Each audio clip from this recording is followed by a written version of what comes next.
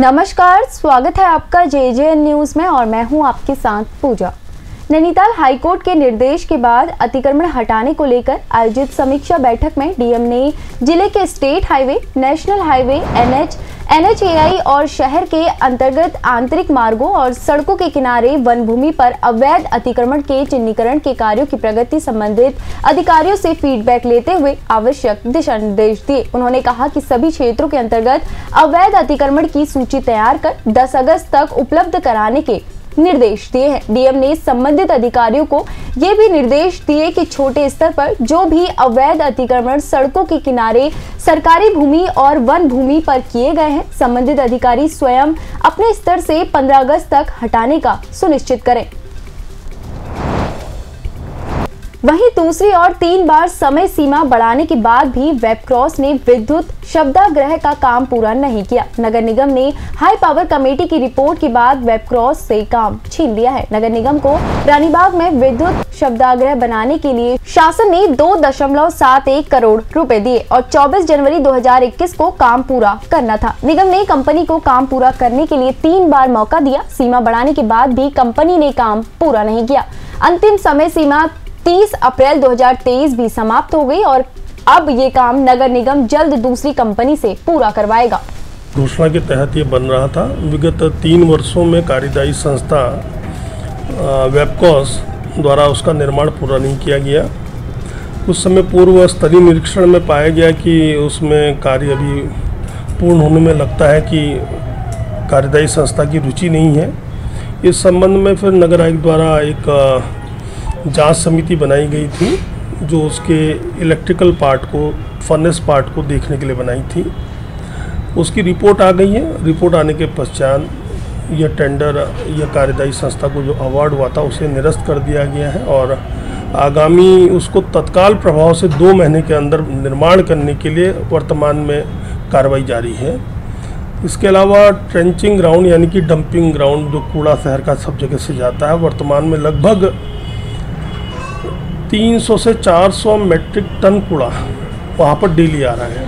कई छोटे छोटे निकायों का भी आता है, जिला पंचायत का भी आता है, और वर्तमान में हम लोगों ने बिडिंग निकाली हुई है, कंपोस्ट प्लांट और आरडीएफ प्लांट की। लेकिन मेरा सदैव एक मंतव्य रहा है कि कंपोस्ट प्लांट और आरडीएफ प्लांट जो है, वो उतना अच्छा उनकी परफॉर्मेंस नहीं रहती है, क्योंकि आरडीएफ की सेलिबिलिटी कम है, उसकी कैलोरीफिक वैल्यू कम होती तो उसकी सेलिबिलिटी कम है।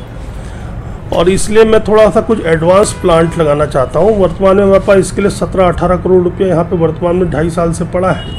लेकिन उसकी बाध्यता है कि केवल कंपोस्ट प्लांट इत्यादि ही लगाना है, जैसा कि डीपीआर स्वीकृत है। वर्तमान में मेरे द्वारा पत्राचार किया गया एनटीपीसी को। एनटीपीसी की एक सब्सिडरी है एनवीवीएन तो उनके द्वारा इसमें रुचि दिखाई गई है। और पूरे भारतवर्ष में एनटीपीसी वर्तमान में कूड़े से चारकोल बनाने का कार्य करी जो कि फर्नेसेस में काम आ जाता है और जिसकी कैलोरीफिक हाई होती है। इसमें सारा इन्वेस्टमेंट पार्ट भी उनका है। नगर निगम को या सरकार को आ, कुछ नहीं लगाना है सब कुछ उनका है। वर्तमान में इस विषय को लेकर मैं माननीय मुख्यमंत्री जी श्रीमान पुष्कर सिंह धामी जी से जल्दी मुलाकात करूँगा। और मुलाकात के बाद हम लोग एक उस संस्था से नॉन बाइंडिंग एग्रीमेंट करेंगे और फिर बाइंडिंग एग्रीमेंट करेंगे। वर्तमान में उसमें कार्य जारी है। अगर ये कार्य सिद्ध हो जाता है और हम लोग उसमें सेलेक्ट हो जाते हैं तो मैं समझता हूँ कि एक उत्तराखंड में एक waste to charcoal waste to energy का एक बहुत बड़ा उदाहरण ये होगा।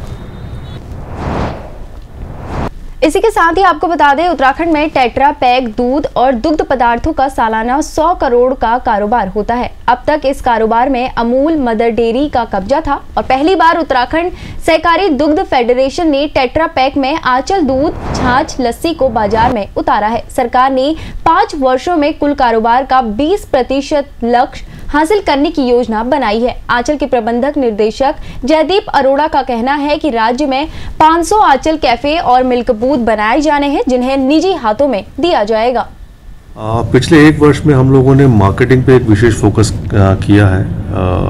जैसा कि एक साल में हम लोगों ने कुछ नए प्रोडक्ट्स लेके आए हैं मार्केट में ताकि हम लोग जो कॉम्पिटिटिव ब्रांड है उसके साथ हम लोग स्टैंड कर सकें। जिसमें आइसक्रीम हम लोग लेके आए हैं और बड़ा बताते हुए बड़ा हर्ष हो रहा है कि हम लोग एक साल के अंदर लगभग साठ सत्तर लाख की आइसक्रीम हम लोग भी इसी वर्ष हम लोग, तीन महीने में हम लोगों ने भी सेल की है। बड़े अच्छे परिणाम हम लोगों को प्राप्त हुए हैं। इसी प्रकार, अभी रिसेंटली हम लोगों ने अभी high shelf life milk product अभी लॉन्च किया है, जिसके हम टेट्रा पैक मिल्क बोलते हैं। तो Tetra Pak milk plus Tetra Pak लस्सी और मसाला छाछ, ये भी तीनों प्रोडक्ट हमारे लॉन्च हुए हैं। जिसकी एक डिमांड पर्वतीय क्षेत्र होने के कारण यहाँ पे काफ़ी अधिक रहती है। और साथ ही हम लोगों ने ब्रांडिंग के लिए जो हमारे जो पैकेजिंग थी हमारी मिल्क एंड मिल्क प्रोडक्ट की, उसमें परिवर्तन कर हमने कॉम्पिटिटिव मार्केट के हिसाब से हम लोगों ने अभी ब्रांडिंग को चेंज पैकिंग मटेरियल को अपना चेंज किया है पैकेजिंग डिज़ाइन को। तो धीरे धीरे हम प्रयास कर रहे हैं और आंचल जो है अ, इसमें अभी हम लोगों ने प्रयास किया है कि हम लोग प्रदेश भर में लगभग आज 500 अ, आंचल कैफ़े और मिल्क बूथ स्थापित करेंगे। इस कड़ी में अभी तक लगभग हमारे 20 से 25 अभी हम लोग स्थापित कर चुके हैं और आगे कुछ अभी पाइपलाइन के अंदर है।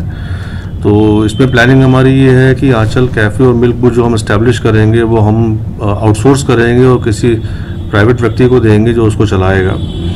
और साथ ही हम लोगों ने अभी जो डिस्ट्रीब्यूशन सिस्टम है, इसको भी कुछ परिवर्तन करने की हमारी प्लानिंग चल रही है, जिसमें हम लोग अभी कुछ डिस्ट्रीब्यूटर्स और डीलर्स भी बनाएँगे। अभी हम लोग प्रथम चरण के अंदर देहरादून में और उधम सिंह नगर में इसका एक ट्रायल कर रहे हैं और जैसे इसके परिणाम प्राप्त होंगे तो बाकी अन्य जनपदों के अंदर भी इस चीज़ को किया जाएगा। आंचल जो है शुद्ध? कुछ कमियाँ रही हैं। अब मैं ये नहीं कहता कि भी कमी नहीं है कुछ कमियाँ रही हैं तो उस कमी को सुधार करने के लिए हम लोग अभी एक बड़े पैमाने पे एक ब्रांडिंग और सेल्स प्रमोशन की एक्टिविटीज़ हम लोग अभी करने वाले हैं और एक दो महीने के अंदर ही हम लोग उस चीज़ को स्टार्ट करेंगे।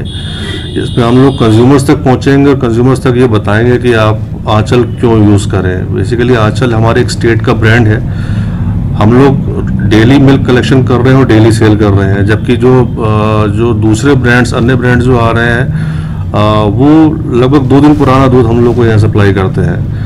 तो ये जो चीज़ है ये हम कंज्यूमर्स को बताएँगे और बत, अ, उनको कन्विंस करने की कोशिश करेंगे कि आप आंचल क्यों यूज़ करें तो एक बड़े पैमाने पे हम लोग इस एक्टिविटी को स्टार्ट करने वाले हैं। उम्मीद है कि इससे हमारे को अच्छे परिणाम प्राप्त होंगे।